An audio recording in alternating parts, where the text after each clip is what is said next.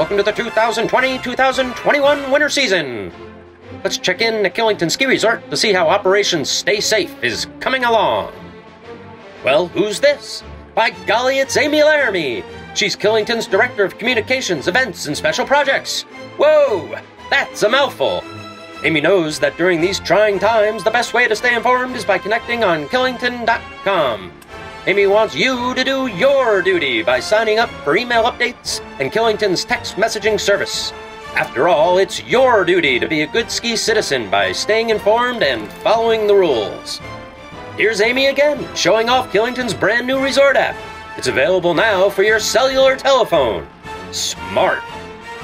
And here we have General Manager Mike Solimano out for a quick tour of the resort. As you can see, Mike is happy to practice social distancing to ensure safety and protection for the entire Killington community. Mike knows we're all in this together. Wearing a mask in public is key to keeping our season alive.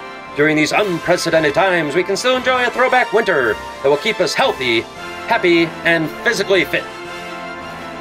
See you on the slopes of victory during Operation Stay Safe.